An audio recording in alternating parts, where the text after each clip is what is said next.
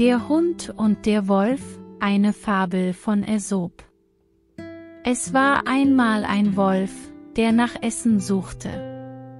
Eines Tages traf er auf einen hübschen und gut gepflegten Hund, der spazieren ging. Der Hund sagte, Hallo, Cousin Wolf. Wie wäre es, einen Wohnort wie meinen zu finden? Dort hättest du jeden Tag Essen.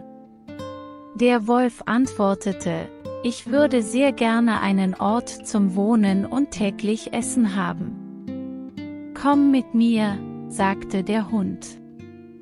Mein Besitzer wird sich auch um dich kümmern. Während sie gemeinsam zur Stadt gingen, bemerkte der Wolf, dass dem Hund am Halsfell fehlte. Was ist hier passiert? Fragte er. Das ist, wo das Halsband sitzt, wenn Sie mich anbinden.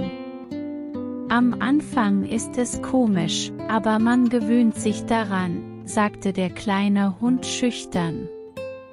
Als er das hörte, verabschiedete sich der Wolf und sagte, ich ziehe es vor, frei zu sein und auf meine Art zu leben, anstatt alles einfach und ohne Freiheit zu haben.